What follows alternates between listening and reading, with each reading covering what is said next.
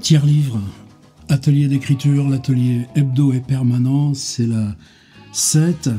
Tout ce euh, trimestre, on a pris comme thème autobiographie, ça ne veut pas dire raconter sa vie, ça veut dire que les éléments dont on traite textuellement, on est amené à les respecter, à les honorer. Ça n'empêche pas la fiction, ça n'empêche pas l'invention, le récit, mais comme ces événements, ces images, c'est ce qui vous a traversé, ce dont on est porteur, eh bien, c'est là où l'expérience d'écriture trouve sa justesse, sa nécessité. Ben, c'est pour ça qu'on a toutes ces dizaines et ces dizaines de magnifiques textes-là qui sont déjà en ligne. Alors moi, je savais qu'en partant sur un atelier hebdo, contrairement à ces cycles qu'on fait où on fait une construction, une architecture, la construction, elle va venir, c'est pas un problème. Mais je savais qu'on allait dilater le temps, et ça, moi, j'avais besoin. Ce que je savais aussi, c'est que je découvrirais dans l'expérience même bien, des choses de l'atelier d'écriture, de conduire, impulser, orienter un atelier d'écriture que je, ne connaissais pas. Et évidemment, c'est même ça aussi la difficulté quand on débarque là pour un workshop de deux ou quatre jours. Ben, on amène, évidemment, on se garde des petites cases d'invention, de, de recherche, mais on amène des choses qu'on sait faire. Je savais que forcément, on allait vite partir dans des zones que je n'ai pas encore explorées. Donc une idée plutôt aussi de, laboratoire. Oui, il y aura un thème, oui, une consigne. Pas d'inquiétude, la dernière fois ça tenait en quatre mots. Long voyage de nuit ou long trajet de nuit, je sais plus. Là, oh, un seul mot, porte au pluriel. Mais ça n'empêche pas qu'on en parle un petit peu. Quand même. Ce que je voulais dire, c'est que c'est autant, là, comme on a fait sur l'arbre, une question de laboratoire que de consigne. C'est pas quelque chose de vertical. Voilà une grille, une forme, un thème, et puis allez attraper ce que vous avez et découvrir. Alors oui, ça c'est toujours le fonctionnement, évidemment. Je pense pas qu'on puisse échapper là à ce genre de boucle, mais comment notre expérience du monde se transformant, il y a des zones où on doit tirer intentionnellement nos modes d'écriture pour se l'approprier, s'approprier nous dans notre présent, dans notre relation aux autres. Et puis, atelier hebdo, atelier permanent, ça veut dire qu'on a le temps, ça veut dire qu'on a positionné les images intérieures, des portraits, des lieux avec les carnets d'adresses. C'est pas une marche en avant forcenée, d'autant que vous voyez bien comment chacun, chacune avance à son rythme.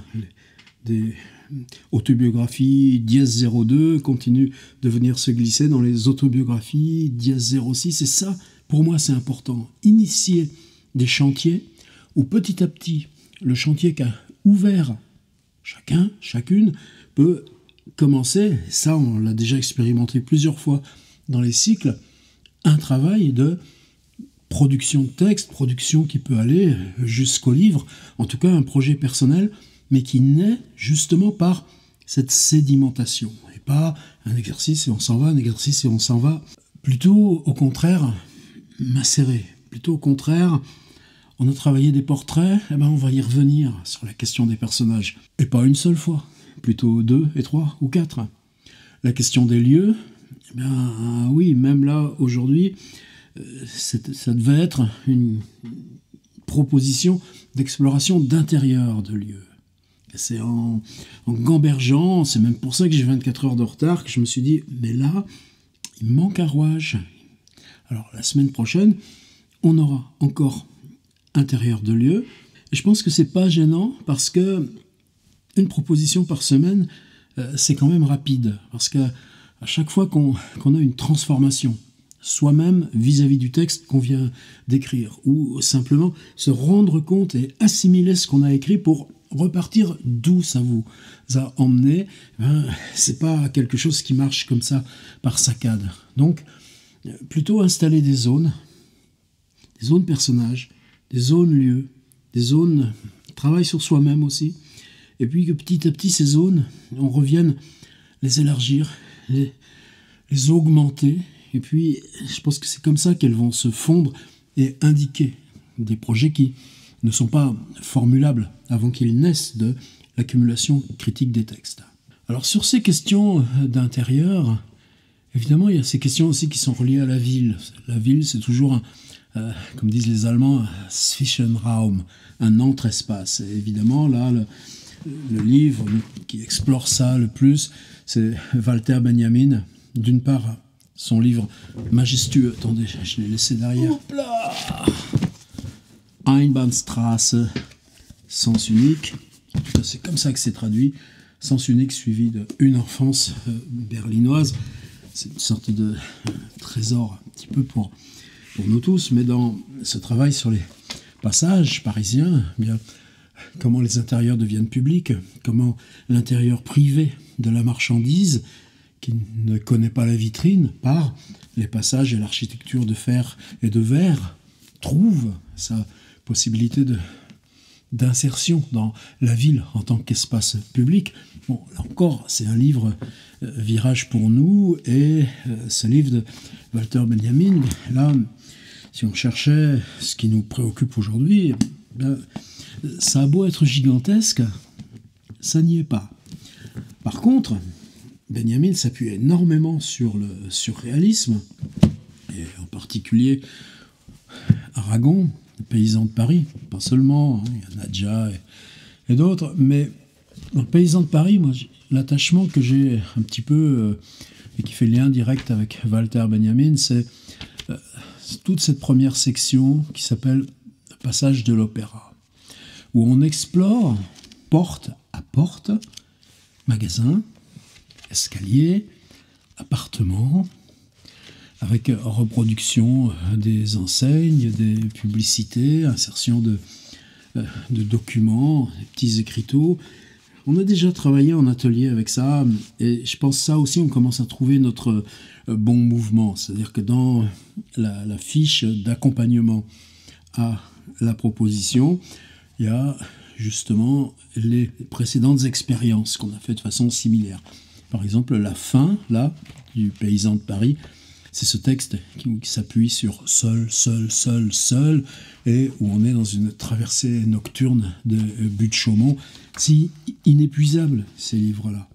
Mais cette question-là de l'exploration du passage de l'opéra, j'ai pu le faire, par exemple, avec euh, des classes de quatrième autrefois euh, à Bobigny, ou dans un centre commercial, ou à Pantin, avec les, les apprentis, là, en se mettant dans le carrefour de la bibliothèque, qui avait des vitrines donnant euh, sur la rue ou euh, dans d'autres, je me souviens aussi à Argenteuil, mais je l'ai aussi fait euh, en, fac à Bordeaux, euh, lancer les, élèves au long des, couloirs avec simplement, le prof étant prévenu ou pas, vous avez le droit d'entrer partout, mais vous pouvez aussi surtout écouter aux portes, etc. etc. Et, et cette relation à la cinétique, au franchissement, à la déambulation, mais attraper une totalité de notation de, sens. évidemment, là, c'est pas ce qu'on va faire, mais des textes comme le passage de l'opéra d'Aragon dans Le Paysan de Paris, c'est ouvre euh, une exploration qui n'a pas de précédent avant eux, même si poème en prose de Baudelaire, etc., etc. Et ce qui est fascinant, c'est que là, la nouveauté du passage de l'opéra, c'est pas de dire ici c'est le coiffeur, c'est d'aller entrer dans le reflet des miroirs, euh, les odeurs, les visages et puis les, les paroles échangées. Comme si la novation technique d'un tel livre, euh, c'est l'agrandissement de la résolution du microscope. Alors là, je laisse Aragon, mais vous voyez, c'est ça qui m'a fait un petit peu euh, cheminer pour aller dans cette notion d'intérieur et puis dire que avant d'entrer dans les intérieurs qu'on porte en soi, et on a déjà commencé à effleurer, il y avait ce mouvement-là du, du franchissement, de la transition. Et la question de la transition, je pense qu'elle est extrêmement profonde, peut-être même plus profonde que la question des portes qui vont être l'instance tout à fait symbolique de cette transition. En tout cas, c'est là-dessus qu'on va revenir, c'est de ça qu'on va partir. Alors, l'outil, ça va être Georges Perec, espèce d'espace inépuisable. On y revient sans cesse, mais vous allez voir, d'une façon qu'on n'a jamais explorée, en tout cas ici. Et la médiation, Marcel Proust. Vous savez que la maison qu'on visite dans ce patelin de la Beauce qui s'appelle Illier, qui s'est rebaptisé Illier-Combray, alors même que Proust, dans les dernières versions de la recherche, avait déplacé Combray, là, beaucoup plus près des combats de la guerre 14-18, c'est une des maisons de l'autobiographie de Proust, le côté paternel, cette tante euh, Léonie, bon, probablement là, il y a un vrai enracinement, mais du côté maternel, il y avait d'autres maisons, en particulier à Saint-Cloud ou Meudon, et dans cette maison d'enfance de la recherche, il n'y a pas une maison source, mais il y a une recomposition fictive d'après trois lieux ou quatre lieux. Mais dans la recherche du temps perdu, on a affaire à une recomposition fictionnelle depuis non pas une maison, mais certainement trois ou quatre ce qu'on en a identifié. Par contre, dans le jeu fictionnel de la recherche, ce qui est fascinant, c'est comment justement ces souvenirs vont s'assembler dans la création fictionnelle d'une maison. Et ce moment, il est vraiment hum, ténu, parce que vous savez qu'on commence par parler de l'endormissement, un homme qui dort. Non, Pérec euh, reprendra l'incipit pour en faire euh, tout un livre. C'est aussi un film qui est disponible en ligne. Il y a juste quoi? Il y a juste le fait que le souvenir volontaire ne peut pas vous remmener jusqu'à cette maison de l'enfance. On n'en sait plus rien. Il y a juste une image. C'est quoi l'image? C'est ces lanternes magiques, une lampe, une mèche à pétrole, un, boîtier, ça, on trouve très facilement, il y en a depuis le XVIIe siècle, à la cinémathèque de Bercy, les petits trucs, les petites bandes de carton qu'on faisait passer de façon comme ça, soit linéaire, voyage en Antarctique, ou découverte du pôle Sud, ou traversée de l'Afrique, ou bien le chevalier Golo en faisant tchung tchung des petits allers-retours, et puis on voit le cheval qui galope, on en a 15 000 des petites bandes comme ça. Évidemment, il y en a plus dans les familles avec un peu d'argent que dans les familles avec zéro argent. Il y a aussi une connotation sociale à la lanterne magique. Par contre, c'est aussi important parce que cette narration par image fixe, là, qui existe depuis le XVIIe siècle, elle est globalement peut-être l'invention du cinéma avant même d'être que la photographie fasse techniquement naître la possibilité cinématographique et non pas sa narration. Alors l'histoire, vous vous en souvenez, c'est canonique. Sur mon site là aussi, j'ai des lectures de ces passages il y a une version numérique de, mon livre. Là. Proust est une fiction, mais je ne veux pas vous embêter avec mes histoires à moi. Ce qui m'importe, c'est que l'archétype de la narration, là, chez Proust, c'est quoi? C'est la vieille tante qui lit toujours la même histoire.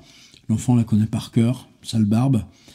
Il prend la lanterne magique et au lieu de regarder l'histoire, Golo et puis la dame, il prend la lanterne et il passe la lumière, la lumière se déforme sur les rideaux. La chambre est impalpable. Pas possible de se souvenir ni de la chambre ni de la maison. Par contre, ce dont il se souvient, c'est que quand il balaye l'espace avec cette lumière pour être parce que la façon dont ça se déforme sur les rideaux, dans les angles, c'est ça qui lui convient, pendant que la voix monotone de la tante assène toujours son histoire. Il y a quelque chose qui est précis quand la lampe passe sur le bouton de porte, un de ces anciens boutons de porte, en laiton, ovale, alors à ce moment-là, l'image devient nette, parce qu'elle se réfléchit sur ce bouton de porte en laiton ovale. Et là, tout d'un coup, à ce moment-là, parce que la figuration du bouton de porte est nette, il y a la possibilité d'ouvrir la porte et de commencer à reconstruire la maison de Combray vous savez que c'est pas simple. Proust a fait une préface y a encore, on est dans les textes archétypes, ça s'appelle Journée de lecture au pluriel. Préface à sa traduction de Ruskin, donc antérieure à la recherche, et puis toute la partie Combray va être structurée par la reprise de ce texte, journée de lecture, c'est-à-dire les heures et les lieux, le petit cabinet où on va l'après-midi, les moments ben justement quand la mère vient le soir l'endormir, etc., etc. Mais on reste dans cette matrice des journées de lecture, on reprend le texte, mais en faisant surgir le lieu à travers ces figures. Je ne veux pas m'attarder sur, Proust, là on va vite aller dans Pérec, mais ce moment-là, si ténu qu'il soit, pour moi est important. Ce moment où le souvenir ne vous ramène pas, ou en tout cas ne vous ramène que du confus, du lacunaire. Par contre, le bouton de porte, lui, va devenir, très, va devenir implacablement net.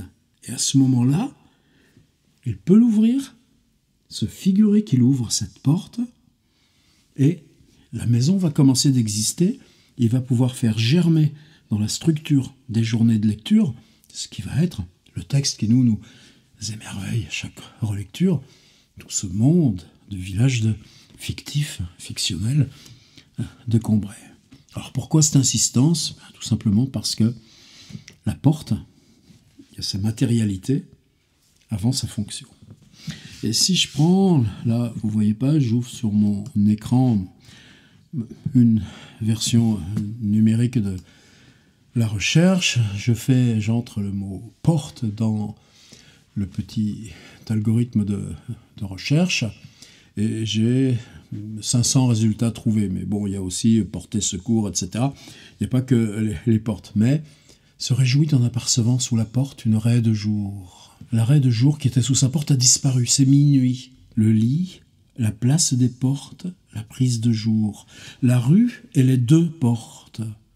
Car le bouton de porte, l'histoire que je vous ai racontée, on, on suit là par ordre chronologique, tous les autres boutons de porte du monde Là, je clique, ça fait ce bouton de la porte de ma chambre qui différait pour moi de tous les autres boutons de porte du monde, en cela qu'il semblait ouvrir tout seul, sans que j'eusse besoin de le tourner, tant le maniement m'en était devenu inconscient. Le voilà qui servait maintenant de corps astral à Golo, et dès qu'on sonnait à dîner, j'avais hâte de courir à la salle à manger où la grosse lampe de la suspension, ignorante de Golo et de Barbe Bleue, et qui connaissait mes parents, etc., etc. Ensuite, par contre, regardez, dans le couloir à double porte, le bruit léger, ma seule consolation quand je montais me coucher était que maman viendrait m'embrasser quand je serais seul dans mon lit, mais ce bonsoir durait si peu de temps, elle redescendait si vite que le moment où je l'entendais monter, puis où passait dans le couloir à double porte, le bruit léger de sa robe de jardin en mousseline bleue à laquelle pendaient de petits... Tout tient à la double porte là, c'est le mystère, évidemment, uniquement de la littérature. Probablement que ça correspond à un souvenir réel, qui avait deux portes. Mais pas important. Au moins que ce soit une porte qu'on pousse doublement, je sais pas. Mais en tout cas, c'est simplement ça. Dans le couloir à double porte, le bruit léger. Je vais juste regarder en 30 secondes. Des maniaques qui s'efforcent de ne pas penser à autre chose pendant qu'ils ferment une porte. Ben nous, on va faire le, le, contraire, quand le grelot de la porte m'eut averti qu'il venait de... Et ma mère ouvrit la porte treillagée du vestibule. Hum, ça, il y est par contre dans la maison de la tante Léonie à Illier-Combray. La porte treillagée du vestibule qui donnait... Ensuite, il y a, avec le petit couloir à porte vitrée pour l'entrée de maman, porte treillagée, petit couloir à porte vitrée, sur laquelle s'ouvrait la petite porte latérale de son jardin, petite porte latérale. Est-ce que vous voyez quelque chose? C'est ça qui va être notre enjeu. Proust ne nous donne pas forcément à voir.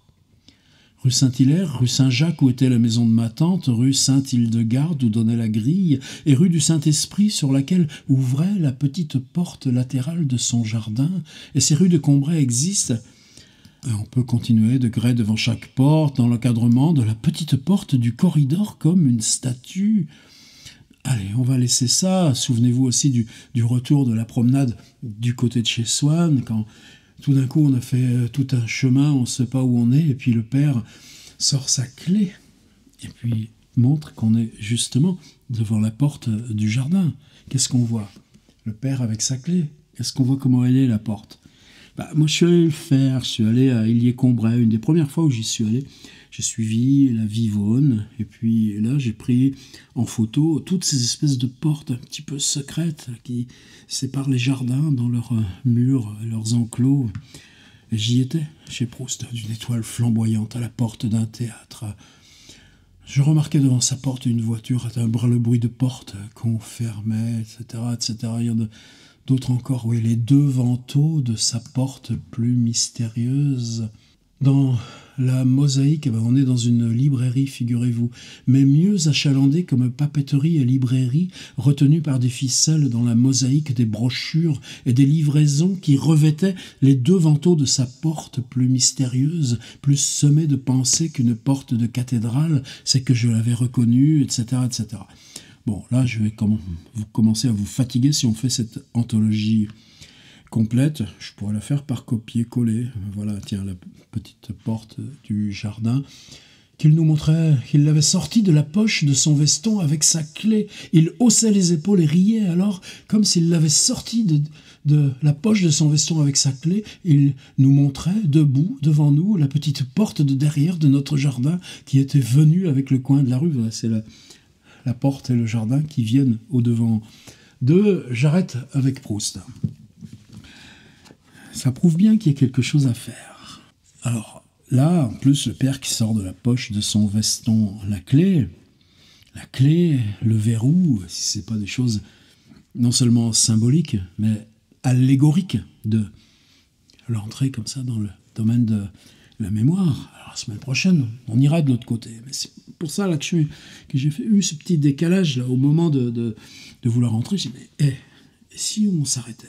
Alors Pérec, vous inquiétez pas, maintenant ça va aller vite. Mais je vous, voyez déjà, là, il fallait qu'on se réancre dans Marcel Proust. C'est-à-dire la question, elle est toute simple. C'est une démarche qu'on a déjà commencé d'avoir un petit peu avec le carnet d'adresses, même avec euh, l'arbre. Balayer sa propre chronologie pour les trouver, les arbres. Ben, les portes chaque adresse qu'on a pu avoir. C'est pour ça que, que aussi je voulais pas m'éloigner trop vite de cette proposition 6 sur le carnet d'adresses. Je veux que là, on avance doucement avec une chose petite, vous verrez, pas si petite que ça, mais qui nous garde là dans l'ambiance et la démarche de ce carnet d'adresses. Et que tout ça continue d'épaissir en même temps. Pour chaque adresse que vous avez pu avoir, ou chaque adresse que vous avez pu retrouver, c'était comment la porte vers le dehors? Et une porte, ça a deux côtés. Extérieur, intérieur. Et une porte, si on se retourne, dernier regard vers l'extérieur, ou bien quand on est à l'intérieur, il y a quoi autour de la porte? Un petit truc pour poser les parapluies, ces petits miroirs là qu'on avait autrefois, un petit peu euh, trapézoïdaux avec des porte-manteaux par un dessus, il y a un paillasson dehors ou un truc pour s'essuyer les pieds à l'intérieur, et puis le sol, c'est le même, le sol à l'extérieur, à l'intérieur. Tiens, dans l'école d'art, où je travaillais à, à l'idée de départ, là, dans le début des années 70, c'était que l'école soit traversée d'une des rues de la ville. Et donc, la rue de la ville avec son pavement, il y a l'école avec son carrelage, et la rue, garde, après l'école, elle a été fermée. Mais la rue continue de traverser comme ça. Vous allez voir, on va retrouver ça euh, chez Pérec. Mais vous voyez que cette question-là du sol, de la rupture, des charnières, des clés, de l'œilleton, combien dans le cinéma, vous en avez vu des scènes où ça frappe à l'extérieur et on vient regarder à l'œilleton? Est-ce qu'il y en a autant en littérature? Bah, Parce qu'on n'en a pas besoin. N'empêche que, n'empêche que. Là, on va entrer dans cette matérialité-là. Et puis les lettres, vous savez, autrefois, il y avait une boîte aux lettres en bas, non euh, On mettait les, lettres à travers la porte, elles tombaient là, à l'intérieur. Bon, ça, c'est. Là, je parle que de euh, vieillerie. Mais euh, c'est comment maintenant? La fonction symbolique, elle est la même. Et donc, à mesure que vous repartez dans votre propre passé, les portes extérieures, intérieures, mais aussi les portes de chambre, les portes de séjour, la porte de la cuisine, la porte d'un truc, la porte d'un... C'est ça que je voudrais que d'abord mentalement, dans quoi on s'installe. À la limite, l'arbre, on choisissait un arbre. Là, aujourd'hui, on va revenir à quelque chose d'un peu plus éclaté. Dire, si vous en faisiez trois lignes sur chaque porte, et qu'à mesure que vous voyez une porte, non pas vous la poussez, mais vous approchez d'elle, il y a quoi à en dire de la, couleur, si ça s'écaille, le bruit que ça fait, les courants d'air. Et puis, euh, ce dernier regard, aussi un truc au-dessus, comment ça prend la lumière, et puis l'interrupteur, et puis l'ampoule. Il faut qu'on accepte. Celle-là, peut-être que là, je quitte le, domaine de l'exercice pour entrer dans beaucoup plus profond.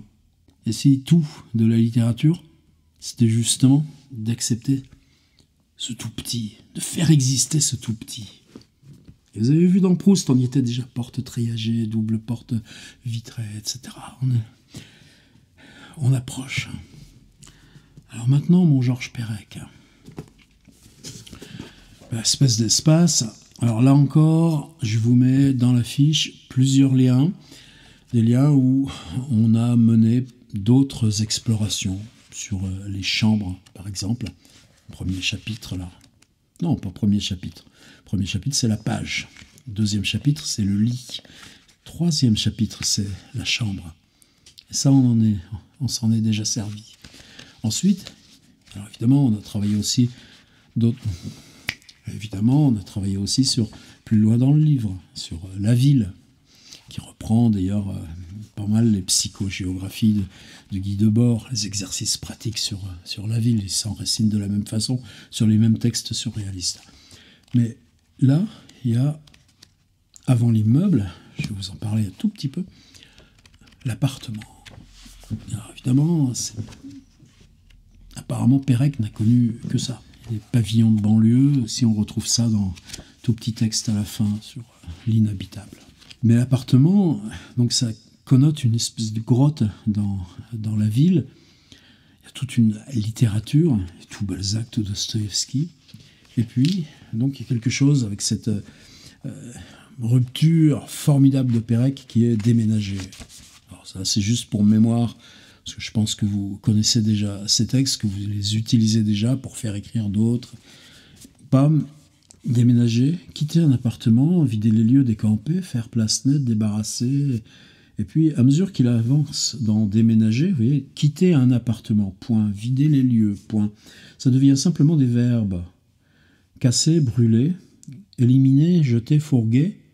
Et puis là, tout d'un coup, eh, qu'est-ce que c'est cette histoire de verbes là? Et si, euh, si j'en faisais même un principe? Et ça donne débrancher, détacher, couper, tirer, démonter, plier. là, il est tellement surpris. Alors, déménager, c'est ça? Bon, ben attends, ça m'est venu en cours de route. Maintenant, je vais faire emménager. Et là, emménager, on a une grosse page et demie uniquement de verbes. Nettoyer, vérifier, essayer, changer, aménager, signer, attendre, imaginer, inventer, investir, décider, ployer, etc. Là, c'est pas ce dont on va s'occuper, mais je vais. Et puis ensuite, et puis ensuite, on a trois extensions à l'appartement. Vous voyez, on arrive à l'immeuble aussitôt après. Il y en a une qui s'appelle Porte, qui est faite en deux parties. Une partie un peu générale, tout ça je vous le mets en, extrait, et un exemple très particulier sur une maison de l'architecte américain Frank Lloyd Wright, qui a comme caractéristique, paraît-il, dans le Michigan, qu'on ne peut pas faire de distinction dans la mise en place progressive du passage de l'extérieur à l'intérieur. Lisez le texte de Pérec, vous comprendrez, sauf qu'il y a cette espèce d'aphorisme. Le problème n'est pas qu'il y ait ou non des clés, s'il n'y avait pas de porte, il n'y aurait pas de clé. Et là, il part sur Frank Lloyd Wright. Alors, tel quel, ce texte, c'est une indication de travail? C'est juste dire, tiens, si on allait voir par là, ce serait ça qu'il faudrait explorer, justement ce qu'on va faire. Ensuite, il y a escalier. Alors oui, escalier, c'est très curieux parce que c'est le seul endroit de. Euh, il est vraiment traité pareil porte, escalier, mur. Et escalier, il y a juste trois petits paragraphes, une ligne, quatre lignes, deux lignes, avec cette phrase absolument géniale, on devrait apprendre à vivre davantage dans les escaliers, mais comment? Et nous, ça, non seulement on s'en était servi pour un atelier d'écriture, mais on en avait fait tout un livre. C'était le, premier livre d'atelier d'écriture qu'on a lancé là, dans, notre collection. On ne pense pas assez aux escaliers. Donc sur la porte de Pérec, je crois qu'on avait été une soixantaine. 69. On avait été 89 auteurs à travailler un peu sur nos escaliers. Alors vous voyez le mec, il dit, voilà, on a fait les escaliers, on va faire les portes. Non, les escaliers, c'est un espace de transition, de déambulation, mais c'est pas un espace de transition sans épaisseur, comme la porte. Et puis de toute façon, alors les murs, ensuite, vous trouverez les trois dans le petit extrait. Je mets un tableau sur un mur, ensuite j'oublie qu'il y a un mur. Je ne sais plus ce qu'il y a derrière ce mur. Je ne sais plus qu'il y a un mur, je ne sais plus que ce mur est un mur, je ne sais plus ce que c'est qu'un mur, je ne sais plus que dans mon appartement il y a des murs et que s'il n'y avait pas de mur, il n'y aurait pas d'appartement, on se croirait dans du Tarkos. Escalier, porte, mur, manque quoi? Fenêtre. Là aussi, il y a Olivier Rollin avec Suite dans l'Hôtel Cristal qui dit Pourquoi Pérec ne zappe les fenêtres? Pourquoi Pérec enlève les fenêtres de sa systématique? Et ça, la réponse de Olivier Rollin, c'est à chaque fois que je vais dans un hôtel, toute ma vie, je fais l'effort de décrire ce qui m'entoure, le poste de télé, le chauffage, et puis ce que je vois de l'autre côté de la fenêtre. Et le livre est magnifique. En plus, jeu avec justement euh, une espèce de biographie fictionnelle qui se. Il utilise que du matériau biographique. Et puis à la fin, par contre, il est lui-même dans son livre. Et là, ça clash. Ou Raymond Bosier, Fenêtre sur le monde. Alors là encore, euh, je crois que je vais vous mettre le PDF à disposition. Tout simplement puisque Fayard avait laissé tomber et puis euh, on l'avait repris sur euh, Publinet. En tout cas, pour moi, c'est un, outil de travail. Il y a dans ce, livre, qui pour moi est, un, vital dans nos démarches d'atelier, je crois, 37 installations avec fenêtre. Tu vas au travail entre chez toi et le lycée, le lycée de la mer à La Rochelle où tu enseignes, eh bien, c'est le pare-brise de la voiture, la fenêtre, et c'est mobile. Ou bien le midi, tu es au supermarché à la cafétéria, eh ben, c'est la baie de la cafétéria qui devient la fenêtre. Ou bien là où chez toi, tu es là pour écrire, eh bien, ta table, elle est contre le mur, il y a des photographies, des objets, c'est ça ta fenêtre. Ou bien, euh, parce que tu es syndicaliste, deux, trois fois par an, il faut aller à Paris pour des réunions, et puis tu te retrouves au ministère de la mer dans les beaux quartiers, ou le soir dans un gourbi d'hôtel au sixième étage, gare du Nord, eh bien tu fais l'exercice des, fenêtres. Alors, là on y est. Juste ajouter, parler de la vie mode d'emploi. Vous savez que euh, après l'appartement, donc c'est l'immeuble. Et pour l'immeuble, il part d'un dessin de Saul Steinberg, une caricature assez emblématique emblématique où on voit un immeuble dont la façade a été enlevée, et puis euh, tous les gens, selon leurs conditions sociales, mais c'était l'étage. Et puis, euh, pourtant, ils sont tous occupés à faire la même chose, regarder la télévision. la vie mode d'emploi, tout à la fin, vers 73, ils sont tous à regarder la télévision. Par contre, l'immeuble, construit euh, vers 1800 80 par là, avec l'installation d'un ascenseur en 1930, avec cette espèce de trou énorme des 4 ans d'occupation allemande, avec les résistants dans la cave qui impriment leur tract, et puis euh, euh, la collaboration qui s'installe, et pour Pérec, comme dans, la disparition, ce qui a disparu c'est la lettre E, c'est la lettre du mot père, la lettre du mot mère, la lettre de son nom, Pérec. Eh Là, au milieu, il y a cette espèce de trou. C'est quoi un immeuble français, parisien, pendant les quatre ans d'occupation allemande?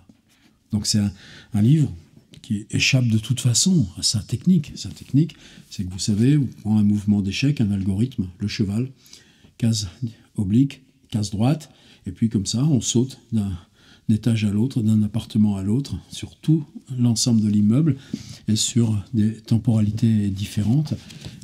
La vie mode d'emploi, c'est un livre de plus de 600 pages avec des histoires imbriquées, des index, etc., etc. Livre infini, mais qui naît dans espèce d'espace parce que dans le chapitre immeuble, il y a tout d'un coup se dire projet de roman. J'imagine un immeuble parisien dont la façade a été enlevée, une sorte d'équivalent du toit soulevé dans le diable boiteux ou de la scène du jeu de Go, etc. Le roman dont le titre est La vie mode d'emploi. C'est parti. Simplement, euh, là, ce qui, ce qui vient par la logique de espèce d'espace devient ensuite la vie mode d'emploi. Voilà en gros ce que je voulais vous proposer. D'une part, savoir que la difficulté, ça va être d'accepter ce qui est humble. Ce qui est humble, c'est qu'on va avoir des textes qui sont uniquement des descriptions en deux lignes ou trois lignes de portes porte depuis le plus lointain de votre vie jusqu'au plus récent si vous voulez. C'est quoi ma porte là? J'ai fait quoi sur ma porte? Comment je tire le rideau selon les saisons? Si la clé y est ou pas? Si je l'entrebâille ou pas? Les questions de variation de bruit, etc. Je ne vais pas entrer avec ça. Tout d'un coup, les, visages qui apparaissent parce qu'un type arrive là. Bon, je pas. C'est totalement idiot ce que je suis en train de dire. C'est pas ce que j'ai devant les yeux qui compte. Mais euh, si je repars dans, cette première maison de l'enfance, jusqu'à mes 11 ans, la sixième, qu'est-ce que je revois comme porte? La porte qui donnait sur la rue, est-ce qu'on s'en servait? Non. Pourtant, je sais comment elle était, avec son petit fer forgé devant la, grille euh, dépolie. Par contre, on entrait par le jardin, sans ça le portillon. Lui, c'était un bouton ovale, mais avec un peu fer forgé là. Et puis tu entrais finalement par la cuisine. Et je me souviens le seuil de la cuisine parce que, enfant, on y jouait. Je me souviens même des, fissures. Je me souviens même d'avoir passé le bras une fois dans la vitre. Et puis ensuite, est-ce que je revois les portes des chambres? Non, pas tellement. Par contre, euh, je me souviens par exemple la première fois que j'ai lu La salle de bain de Jean-Philippe Toussaint. Ce type qui s'enferme dans sa salle de bain. Est-ce que je voyais la porte? Oui, si j'ai voulu traduire, retraduire une xième traduction de Bartleby, de Melville, est-ce que la porte de ce bureau, quand le proprio arrive le dimanche avec sa clé et qu'il s'aperçoit que la porte est bloquée, ce qui veut dire que Bartleby est resté dormir dans le bureau. Est-ce que je la vois, la porte? Non, Melville ne décrit pas, ne raconte pas. C'est ce qu'on va faire nous. Par contre, cette porte, j'avais assez de quoi avec euh, la porte du proviseur au lycée, la porte quand on entre chez le médecin, la porte de... etc. Euh, etc. J'avais suffisamment de portes dans mon imaginaire pour que cette scène du proprio attendant sur le palier avec euh, le Bartleby faisant ses petits bruits à l'extérieur disant Vous ne pouvez pas revenir dans dix minutes ?» Pour moi, c'est une scène visuelle. C'est ça qu'on va faire. donc, d'abord, accepter l'humilité. C'est 10 portes, c'est 12 portes, c'est 15 portes. Oui, faites-le, creusez. C'est rien, c'est une demi-ligne. Bon, pourquoi pas, mais c'est pas de l'inventaire, c'est pas de la liste. C'est à chaque fois faire exister euh, ce qui n'a pas d'épaisseur, mais qui est une conjonction d'univers où de toute façon on va passer. bizarre aussi, il y a 15 jours, il y a un copain Michael Rock, un gars qui vit en, Martinique et puis en ce moment, donc, il peut pas aller en Guadeloupe. Or, il fait des, ateliers d'écriture en visio avec Pointe-à-Pitre. Il fait passer un petit message. Comment ça se fait que porte, c'est un des rares mots qui n'est pas de synonyme? Pourquoi il n'y aurait pas de synonyme à porte? Bah ouais. Fenêtre, il y en a plein. Porte, non. Pas plus que ça, pas moins que ça. Et pour moi, c'est important aussi par une transition. Et je m'arrête là. Parce que déjà dans tout ce qu'on a installé, des portraits, des lieux, des adresses, il y a autant de portes que vous avez fait d'approches. Maintenant, on va essayer d'aller plus loin. La semaine prochaine, on entre dans des intérieurs et on va y entrer physiquement, matériellement. Et ça encore va résonner avec les textes déjà écrits. Et là maintenant, où on augmente la pression, petit à petit, tranquillement, c'est comment tout ça va pouvoir se fondre pour inventer du récit. Inventer autant de récits qu'on est de participants. Ça aussi est en mouvant, puisque le but c'est que chacun puisse venir quand il veut, prendre la suite des exercices quand il veut, continuer à son rythme et dire au revoir s'il a envie. Donc j'ai besoin de ces 10 portes, ces 15 portes, ces 20 portes, parce que c'est seulement si, si vous en faites 15 que certaines vont vous surprendre. Dites-vous que Proust, dans la recherche du temps perdu, il utilise 500 fois le mot. On a le temps, nous, d'en faire 15 si lui en fait 500. Ne vous inquiétez pas, ça va nous servir. Le point de départ, c'est que tout Combray vient de la description d'un bouton de porte, là où le narrateur ne peut pas se souvenir ni de plus ni d'autre chose. Et c'est bien le mystère de Georges Perec dans Espèce d'espace. Il y a deux livres d'entretien sur Georges Perec, mort en 1982 si je ne me trompe pas. 84. Ben, personne ne m'a jamais posé cette question. Ni sur les fenêtres, ni sur les escaliers, ni sur les portes. Nous on y va.